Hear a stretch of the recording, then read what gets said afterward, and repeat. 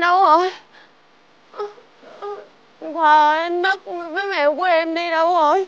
Mèo Em đừng có chuyện gì nha. Bây giờ bà Di Tiêu không thấy em gì phải làm sao đây? Còn hôm nay em sống như chị Còn giờ không có em chắc chị chết quá. Mèo.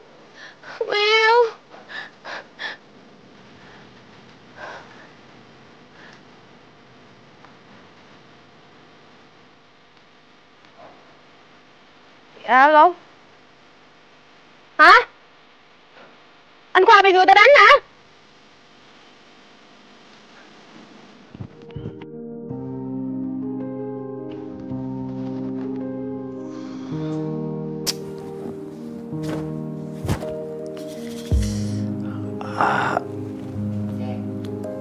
Lúc mà anh ngủ á con miêu miêu nó ở bên cạnh anh hoài à. Chắc là nó lo lắng cho anh lắm á thương như nó mà biết lo cái gì? Tới giờ phút này anh còn nói chuyện vậy được nữa hả? Cái thứ vô tình vô nghĩ với anh á, chính là con bồ nhí của anh kìa.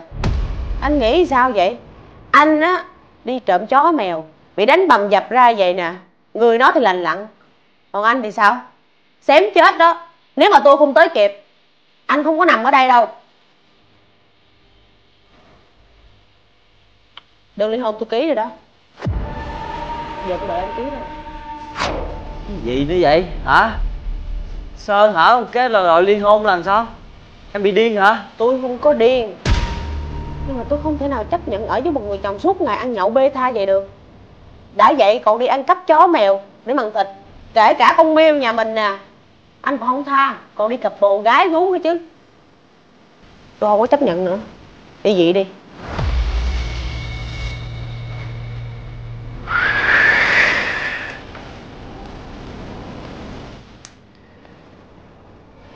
Dạ.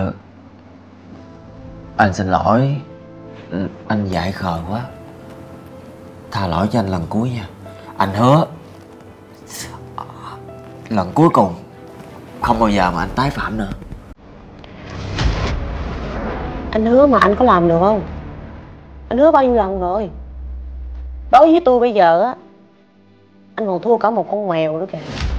Tính ra tôi nuôi nó bao năm nay, nó ở nhà tôi tâm sự với nó được, tôi chia sẻ với nó được. Còn anh thì sao? Anh có làm được cho tôi những điều đó không? Cái gia đình này tan nát á, cũng bởi vì anh. Gì con? Ô, chung chung chung yêu yêu ha. Chung chung chung chung chung chung.